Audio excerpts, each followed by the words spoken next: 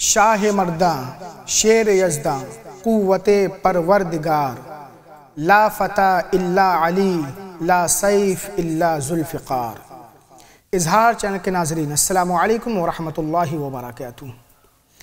واقعہ فیل کے تیس سال بعد، تیرہ رجب تقریباً چھ سو عیسوی جمعہ کے دن مکہ شریف میں حضرت علی رضی اللہ عنہ کی ولادت مبارکہ ہوئی۔ آپ نبی کریم صلی اللہ علیہ وسلم سے تقریباً تیس سال چھوٹے ہیں۔ تاریخ کتابوں میں آپ کی ولادت کا واقعہ اس طرح بیان کیا جاتا ہے۔ نبی کریم صلی اللہ علیہ وسلم کے ام محترم یعنی چچا جان، حضرت عباس بن عبد المطلب رضی اللہ عنہ اور قبیلہ بنی ہاشم کے کچھ افراد مسجد حرام میں بیٹھے ہوئے تھے۔ آپ کی والدہ ماجدہ مسجد حرام میں تشریف لائیں اور طواف کرنے میں مشغول ہو گئیں تین چکر پورے کر لیے، لیکن چوتھا چکر لگانے کی قوت نہ رہی۔ آپ پکارنے لگیں، اے خدا وند کعبہ، اس ولادت کو مجھ پر آسان فرما۔ اچانک کعبہ کی دیوار شق ہوتی ہے، آپ کی والدہ ماجدہ کعبہ شریف کے اندر چلی جاتی ہیں۔ وہاں پر موجود حضرات بیان کرتے ہیں، وہ ہماری نظروں سے غائب ہو گئیں۔ ہم نے کعبے کے اندر جا کر آپ کو کافی تلاش کیا۔ مگر کہیں نہیں مل سکی۔ چوتھے دن آپ اسی کعبے سے باہر تشریف لائیں اور حضرت علی رضی اللہ عنہ کو گود میں لیے ہوئی تھیں آپ کا اسم شریف علی بن ابی طالب ہے۔ آپ کی کنیت ابو الحسن ہے۔ نبی کریم صلی اللہ علیہ وسلم نے آپ کی کنیت ابو تراب رکھی۔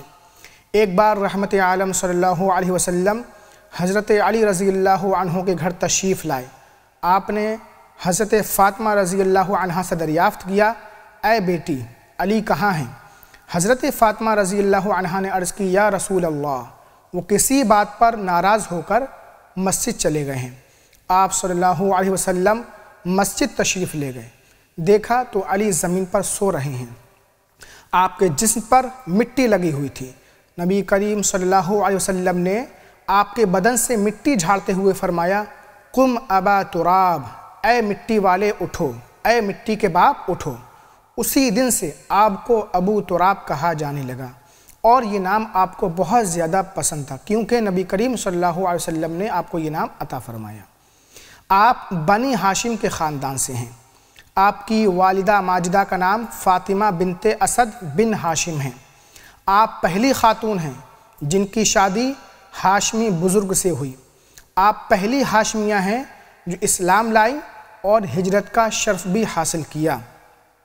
ابو یعلا بیان کرتے ہیں۔ حضرت علی رضی اللہ عنہ نے فرمایا، نبی کریم علیہ السلاۃ والتسلیم نے دو شمبہ یعنی پیر کے دن نبوت کا اعلان فرمایا، میں منگل کے دن اسلام لایا۔ اسلام لانے کے وقت آپ کی عمر شریف آٹھ یا دس سال تھی۔ آپ کا ایک مشہور لقب کررار ہے۔ نبی کریم صلی اللہ علیہ وسلم نے آپ کو یہ لقب عطا فرمایا تھا۔ کررار کا معنی ہوتا ہے بار بار حملہ کرنے والا۔ آپ اپنے دشمنوں پر یعنی اسلام کے دشمنوں پر بار بار حملہ کرتے تھے۔ اسی لیے آپ کو کررار کہا جاتا ہے۔ اس کے علاوہ آپ کے اور بھی بے شمار القاب و آداب ہیں۔ آپ چوتھے خلیفہ ہیں۔ حضرت عثمان غنی رضی اللہ عنہ کی شہادت کے ایک ہفتے بعد، پچیس ذی الحجہ، پینتیس ہجری میں آپ کے ہاتھ پر مدینہ شریف میں عام بیعت شروع ہوئی۔ خلیفہ بننے کے بعد چار مہینے مدینہ شریف میں قیام فرمایا۔ بعد میں کوفہ تشریف لے گئے اور وہیں اپنا دارالخلافت بنایا۔ آپ نے چار سال، سات مہینے، چھ یا بارہ دن خلافت فرمائی۔ آپ کی کل عمر شریف تریسٹھ سال ہوئی۔ آپ کو عبد الرحمن ابن ملجم نے شہید کیا تھا۔ آپ نے پانچ سو چھیاسی احادیث روایت کی ہیں۔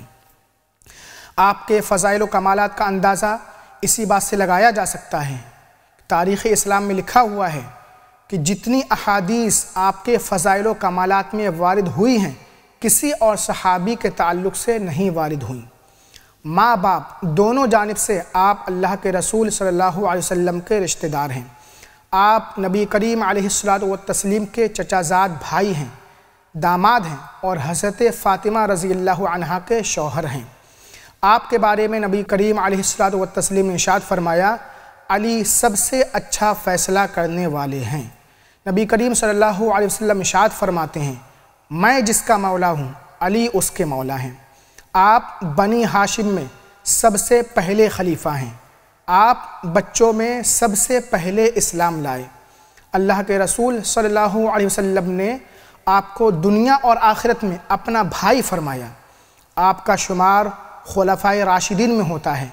آپ ان عظیم ہستیوں میں سے ہیں جنہیں رسول پاک صلی اللہ علیہ وسلم نے دنیا میں جنت کی خوشخبری سنائی۔ اہل غزوہ بدر، بیعت رضوان اور مہاجرین اولین میں آپ کا شمار ہوتا ہے۔ آپ کو ہجرت کی رات نبی کریم صلی اللہ علیہ وسلم کے بستر پر سونے کا شرف بھی حاصل ہوا۔ خیبر کا قلعہ فتح کرنے کے لیے نبی کریم صلی اللہ علیہ وسلم نے آپ ہی کا انتخاب فرمایا۔ خیبر کے قلعے کے دروازے کو جس کو چالیس لوگ مل کر بھی نہیں اٹھا پاتے تھے، آپ نے ایک ہاتھ سے اس دروازے کو اٹھا لیا تھا۔ حضرت عمر رضی اللہ عنہ نے آپ کے بارے میں فرمایا تھا، اگر علی نہ ہوتے تو عمر ہلاک ہو جاتا۔ یہ ایک واقعہ ہے پورا تفصیل کے ساتھ انشاءاللہ تعالیٰ کا بھی آپ کے سامنے ہم پیش کریں گے۔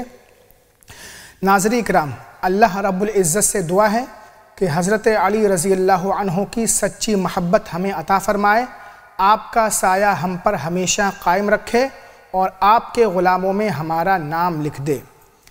تیرہ رجب، آپ حضرات اپنے گھروں میں، مساجد میں، مدارس میں حضرت علی رضی اللہ عنہ کے نام کی محفل منعقد کریں، آپ کا ذکر خیر کریں ایسال ثواب کریں۔